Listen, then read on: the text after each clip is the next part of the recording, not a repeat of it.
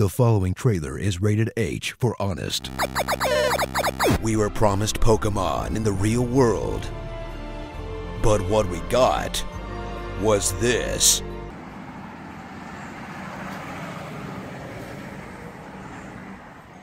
Pokemon Go.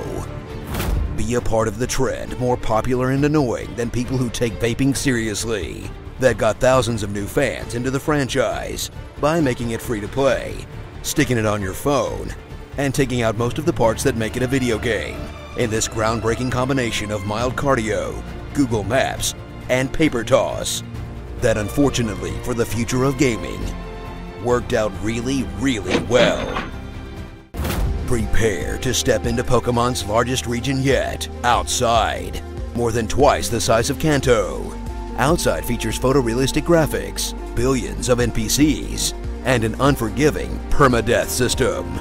You'll join fellow trainers across the world out into the sun's harsh rays as you finally spend some time out of the house, wandering aimlessly around the neighborhood with your head in your phone.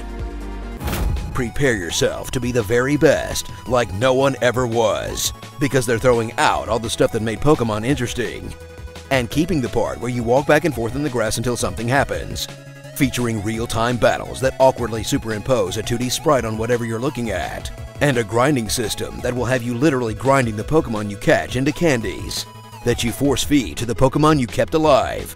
It wasn't enough to capture a team of fighting slaves, now you make them eat their friends too. Once you're tired of Pokemon Go's actual gameplay, discover the game's real hook color-based gang turf wars as Pokemon Go leaves out trainer battles and trading in favor of a gym system where you'll furiously tap your way to bragging rights while you arbitrarily ride or die for the emo team of Mystic, the asshole team Valor, or the pain-eating team Instinct aka Hufflepuff, aka the Pea Pants Egg Babies, Team Valor for life, yo! So get out your Ash Ketchum cosplay gear while you participate in crazy flash mobs there's a Vaporeon that spawned right there, so everyone's running. Livestream yourself falling into a lake. And move as far as you can out of your rural area or poor neighborhood, because apparently Pokemon don't want to live there either. And get in on this fad before old people ruin it.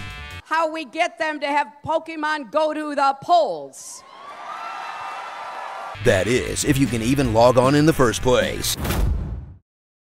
Starring Going for a walk, making some friends, hanging out in parks at night, finding a dead body, getting mugged, getting stabbed, and falling off a cliff. Pokemon Go recharge your phone. You know, if they really wanted to make Pokemon in real life, your mom would kick you out of the house when you turn 10 just so she could bang Professor Willow. Be sure to subscribe for more honest game trailers and tell me what you'd like to hear me say in my awesome voice. I've been kidnapped by a monster who's trying to relate to me.